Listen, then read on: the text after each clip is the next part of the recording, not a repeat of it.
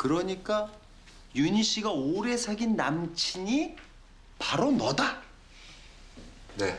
상무님한텐 그냥 잠깐 흔들린 거고 그렇죠. 이런 미친.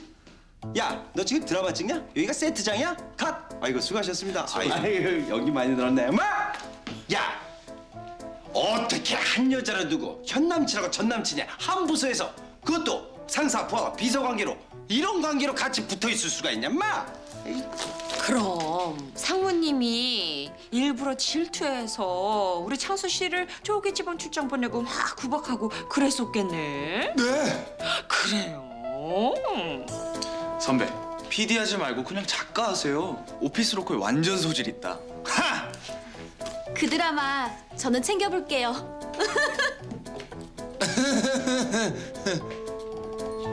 아유 씨.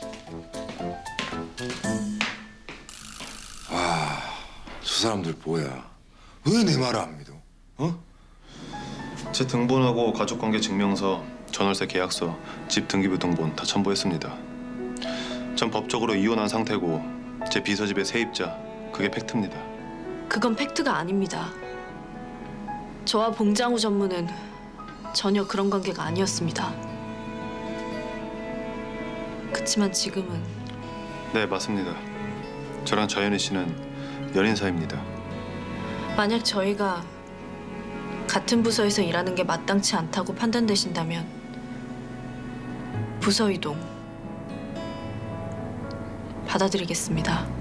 하지만 대기 발령이나 권고 사직 등의 처벌은 절대 수용할 수 없습니다.